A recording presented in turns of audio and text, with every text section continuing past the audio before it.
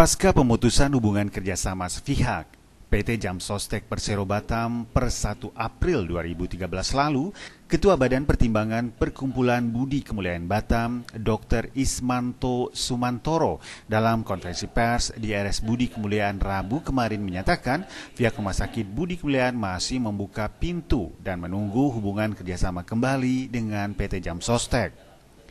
Dalam keterangan pers yang dihadiri Direktur RSBK Dindin H. Hadim, Wadir Yanmed dan Perawatan Dr. Rafaela Alaida, Wakil Direktur Umum dan Keuangan Rizky Eka Putra, dan Kepala Humas RSBK Doni Irawan ini, Dr. Ismantono menjelaskan sebelumnya kerjasama yang terjalin antara RSBK dan Jam Sostek melalui sistem fee for service. Namun sejak tanggal 1 Januari 2013, pihak Jam Sostek menetapkan program baru dengan sistem paket pembayaran pelayanan atau SP3. Dr. Ismanto Sumantoro menambahkan jam sostek Batam menerapkan sistem paket ke pihak RSBK ini, sehingga pihak RSBK sebagai rumah sakit swasta harus terlebih dahulu melakukan perhitungan. Dokter spesialis bedah ini menjelaskan RSBK tidak bisa secara langsung menerima apa yang diminta oleh jam sostek. Pasalnya selama ini RSBK tidak mendapatkan pemasukan dari pihak ketiga, untuk itu perlu dilakukan kajian lebih matang. Pihak SBK berupaya mencari win-win solution atas kejadian tersebut. Sebab dengan terhentinya kerjasama ini tak hanya berimbas pada rumah sakit dan jam sostek saja, namun para pasien yang juga menggunakan jasa jam sostek. Pihak RSBK juga menjelaskan saat ini tidak serta-merta menolak pasien peserta jam sostek yang ingin mendapatkan pelayanan kesehatan.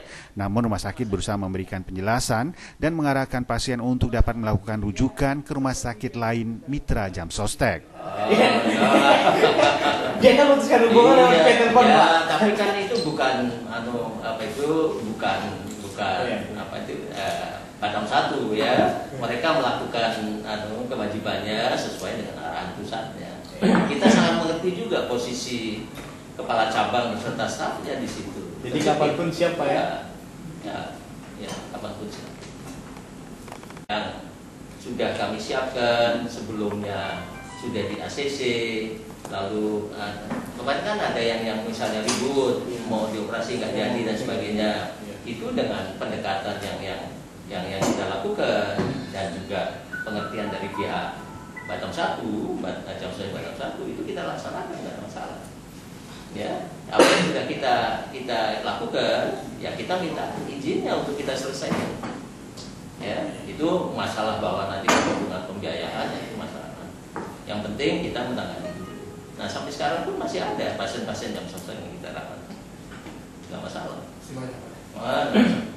Dan misalnya contoh, sekarang tidak ada sekarang tidak ada misalnya untuk sementara kerjasamanya di dibuka lalu ada pasien gawat darurat datang pasien jam sostek. Ya kita juga tidak akan mengatakan ini bukan lagi nggak usah tangani pindah.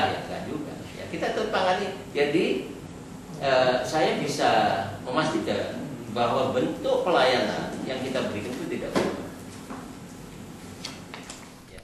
Perkumpulan Budi Kemuliaan Batam masih membuka kerjasama kembali dengan pihak Jam Sostek Batam.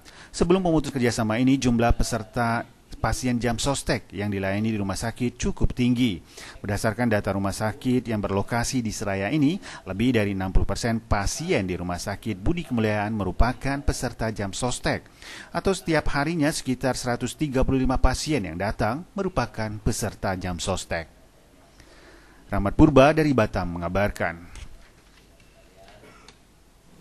Gitu ininya. Inti daripada yang saya Berarti kan intinya kan